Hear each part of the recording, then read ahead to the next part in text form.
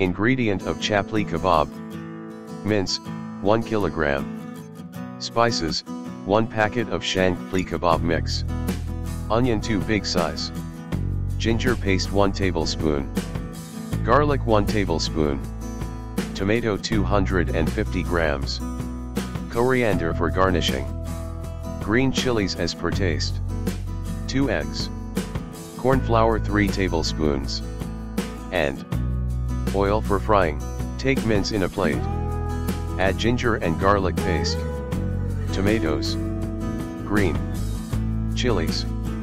Fresh coriander. And onions. Mix well. Add Shan Chapli Kebab Masala mix with all the ingredients. Add 2 eggs. Mix well.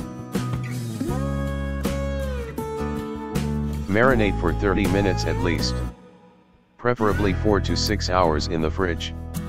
Before making the kebabs, do a taste test and adjust spices and salt if required. Now roll out a flat patty, kebab, from minced dough and embed a slice of tomato in each patty. Roll each kebab patty in corn flour. We prefer a medium single serving size. Fry kebab on medium heat for 2 minutes on each side until golden.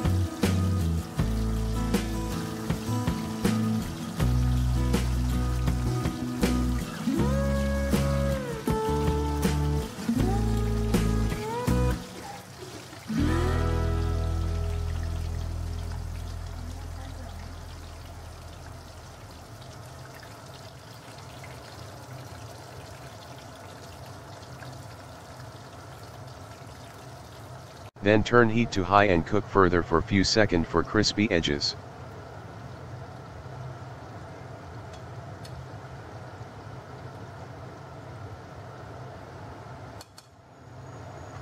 Delicious yummy and tasty chapli kebabs are ready.